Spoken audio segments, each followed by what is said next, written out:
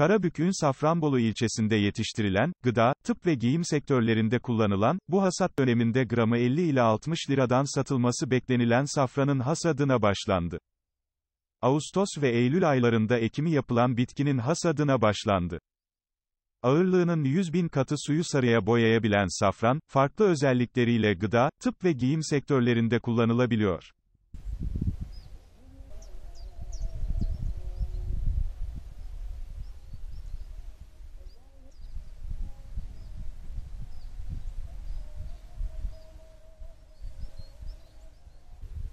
Yukarı Çiftlik Köyü'nde, Ağustos ayında 27 dönüm tarlasına ekimini yaptığı safranı toplamaya başlayan İsmail Yılmaz, şöyle dedi. Ee, bu sene yağmurlar iyi gitti. Havada soğudu. Ee, gece sıcaklığı 7-8 dereceye düştüğünde safran açıyor. Soğuklanmayı tamamlıyor soğanlar. İşte 1 Ekim itibariyle de bizim e, bölgede çiçekler açmaya başladı. Safranın en büyük özelliği hücre yenileyici olması. E, sakinleştirici, sinirleri yatıştırıcı, işte uykusuzluğa çok iyi gelir, metabolizmayı hızlandırır, vücut direncini artırır.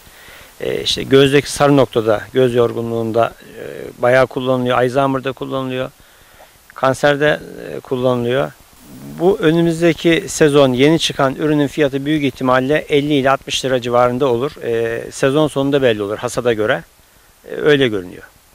Bu son yılda e, Kuveyt, Katar, işte Bahreynli gibi müşterilerimiz var en çok. E, bir de Rusya bölgesinden gelen var.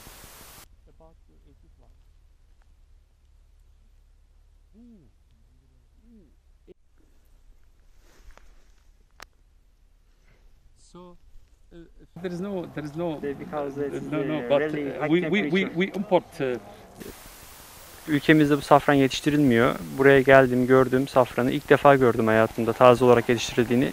Kullanıyoruz safranı. Ee, kendi ülkemize diğer ülkelerden ürünü getiriyoruz. Ancak o şekilde kullanılıyor.